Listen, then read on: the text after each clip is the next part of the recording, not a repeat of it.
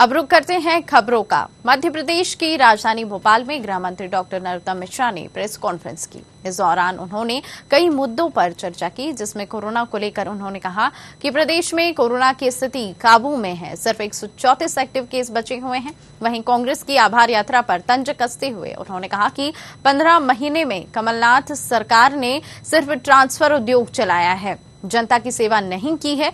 इसके अलावा दिग्विजय सिंह के ट्वीट पर उन्होंने कहा कि दिग्विजय सिंह केवल हिंदुत्व विरोधी बात करते हैं। दिग्विजय सिंह ने, आपने कभी दिग्विजय सिंह को आईएसआई की आलोचना करते देखा है? आपने कभी ओसामा की लालू, ओबामा की आलोचना करते हुए आपने किसी आतंकवादी की आलोचना करते देखा है? दिग्विजय सिंह जब आलोचना करेंगे, संघ की ही करेंगे। वो जब चाहेंगे तो संघ पे प्रतिबंध की बात करेंगे, हिंदूवादी संगठन है और दिग्विजय सिंह ने इसलिए कभी रोहंग्याओं पर प्रतिबंध लगाने की सुना आपने कि दिग्विजय सिंह ने कहा? नहीं सुना होगा। इससे दिग्विजय सिंह की सोच प्रदर्शित होती है कि किस तरह का विभाजनकारी सोच दिग्विजय सिंह का अब कल कमलनाथ जी दिग्विजय सिंह जी आशीर्वाद लेने गए थे, इसलिए उन्होंने कहा होगा कि इनने कुछ किया नहीं है दोनों ने। इसलिए उन्होंने कहा काम करने से होता है काम जी इस उम्र में, अब क्या करेंगे? उनकी उम्र आशीर्वाद देने और लेने की है तो दे रहे हैं और ले रहे हैं।